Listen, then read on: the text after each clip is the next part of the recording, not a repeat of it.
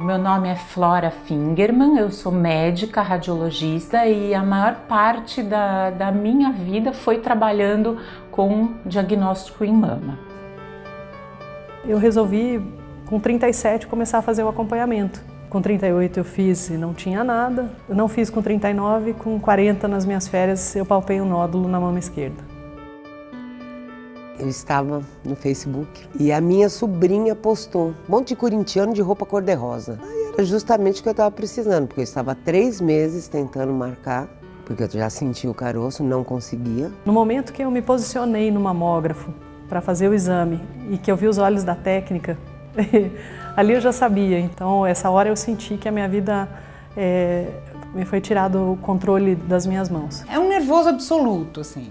Para quem nunca passou por, por um diagnóstico de uma doença grave, assim, é um choque, é um mega choque. Pela minha cabeça passava toda a informação que eu tinha de câncer de mama, a certeza de que uh, um câncer em estágio inicial tem 95% de possibilidade de cura. Eu olhei e falei assim, eu posso curar isso daqui. A arma que nós temos para combater o câncer é o diagnóstico precoce. Né? Então, se eu pudesse dar um conselho, é façam sua mamografia todo ano. Ai, mamografia dói. Não dói, gente. Dói é você saber que tem uma doença e não tem mais jeito. O diagnóstico precoce é muito importante porque ele possibilita tratamentos menos invasivos. É, ao mesmo tempo, quando nós diagnosticamos nas fases iniciais, muitas vezes não é necessária a quimioterapia.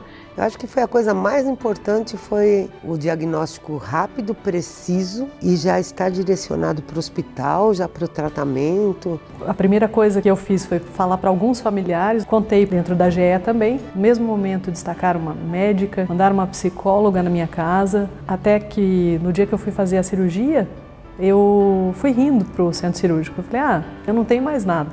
O acolhimento foi uma diferença, você se sentia assim, querida, tratada, você tem certeza que aquela pessoa vai cuidar de você bem.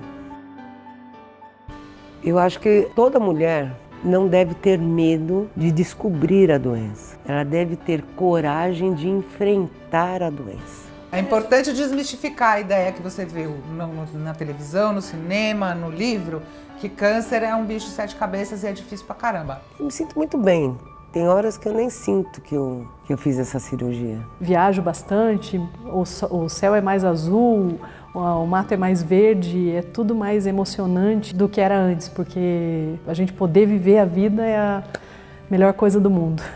E após tantos anos trabalhando com mama e com mulheres que estão enfrentando o câncer de mama, eu acho realmente que elas são super heroínas.